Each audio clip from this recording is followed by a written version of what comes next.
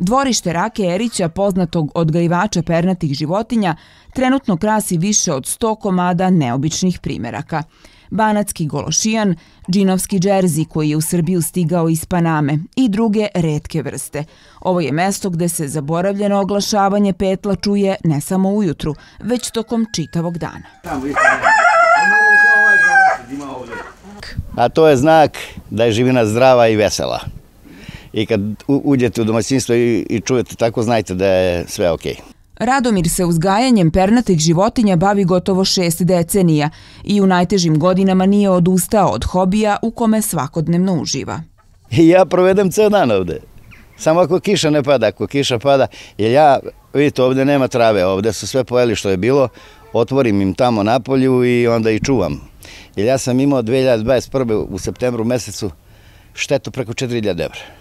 Psi lutalice napravili su ogromnu štetu, od koje se i dalje nije potpuno oporavio. Meni je tad 18 dobričkih ćuraka i ćurkova uništeno. Sad u celoj Vojvodini ne možda nađete 18. Traže 100 evra, traže po paru.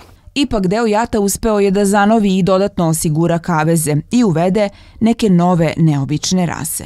Ja pravim boju, parim gološijana sa rasnom živinom, na primjer ovu crvenu bordo, ovu crvenu tamnu boju sam dobio sa Rhode Islandom, parim sa Orpingtonom, gde dobijam i dobrog nosača i dobro meso.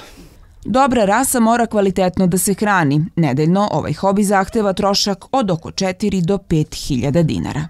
Odrasli jedu oko 100-110 grama hrane ili 100 grama hrane ostalo nađu sami Ovaj, što se tiče gološijana, što se tiče ostale živine, to 100-150 grama, to je skupo sad.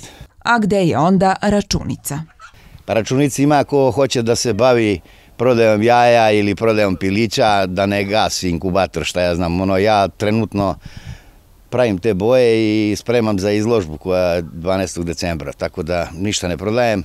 Imam petlova, krš, ne znam šta ću s njima da radim, ali prodat ćemo na izložbi nešto.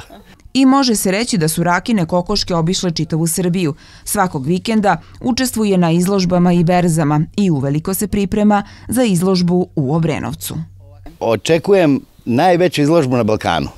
Na izložbi u Obrenovcu u decembru očekuje oko 200 izlagača. Već su se najavili poznati uzgajivači iz Republike Srpske, Crne Gore i Makedonije.